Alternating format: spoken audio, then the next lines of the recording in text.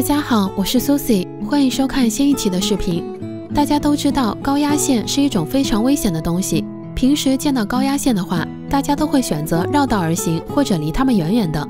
如果一不小心碰到的话，可能会导致触电身亡的悲剧。不过大家平时应该也都见过一排鸟儿站在高压线上的画面，除了看上去比较新奇之外，大家更想知道为什么它们不会触电。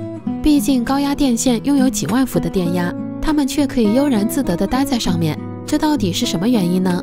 说到这个，就得先给大家普及一下触电的原理。人之所以触碰到高压电线会触电，主要是因为电流通过人体和地面形成了完整的回路，火线、零线、导电体三者都齐全了，这才导致人体触电。可是小鸟的体积小，只能站在一根电线上，所以不会引发触电的结果。如果一只脚踩着火线，而另一只脚踩着零线的话，也会触电。前段时间有网友拍到一群鸟儿站在高压线上，场面看上去相当壮观，有点鸟儿聚会的意思。大概是意识到危险了，所有的鸟儿都飞起来。接下来发生的一幕让很多人大吃一惊：高压线突然着火了，幸亏这些鸟儿已经飞走了。如果还停在高压线上，估计瞬间就会变成烤糊了的鸟。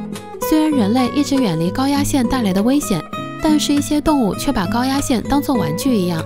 之前网络上还曾经出现过一只猴子把高压线当秋千玩的画面，中途因为操作失误，小猴子不小心落到了地上。看来很多动物跟高压线都有一些不解之缘。不过对于人类来说，时刻要谨记高压线带来的生命危险，远离高压线，保证自身安全。